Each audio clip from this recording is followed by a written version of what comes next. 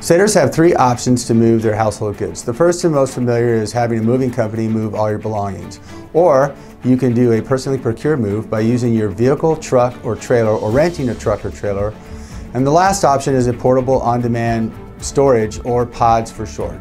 This last option has been around since the early 90s, where they drop the container off, giving you the time to load it, and once complete, they'll come back, pick it up, and take it to your next destination. As soon as they receive orders, by going into the Defense Personal Property System, sailors give themselves the best chance to get the move dates that they want.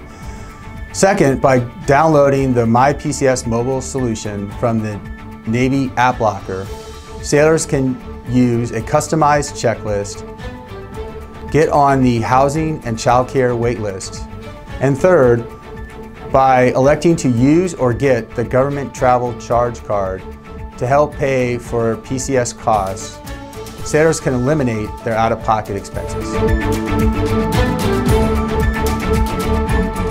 The two biggest incentives for doing a personally procured move is the government is now paying up to 100% of what they would have paid a moving company to move a sailor's household goods move, and the sailor takes control of their own move experience.